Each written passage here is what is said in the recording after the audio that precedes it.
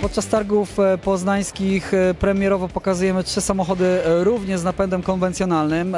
To polska premiera liftingowanego modelu GLC, bestsellerowego na rynku polskim pod względem ilości samochodów sprzedanych w ubiegłym roku, a zatem samochód dla nas bardzo ważnego. GLC z ulepszone o system MBUX, nowe silniki, zmienioną partię przednią oraz tylną trafi do Polski już wkrótce, bo w czasie wakacji. Oprócz tej oferty SUVy uzupełnia m, nowe GL 53 AMG, samochód, który w zasadzie po wakacjach także pojawi się w polskiej e, ofercie i w polskich e, salonach. No i tak jak wskazują na to e, popularność modeli SUV, bo 47% sprzedaży w Polsce to samochody właśnie o tym typie nadwozia.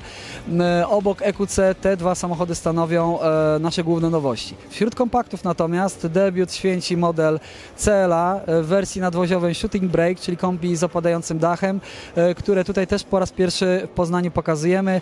CLA także w czasie wakacji uzupełni ofertę samochodów e, kompaktowych odnowionej gamy obok A, A35, e, nowej klasy B, CLA Coupe, e, CLA Shooting Brake. Najbardziej spektakularne osiągi wśród naszych premierowych samochodów ma niewątpliwie nowy GL 53 AMG.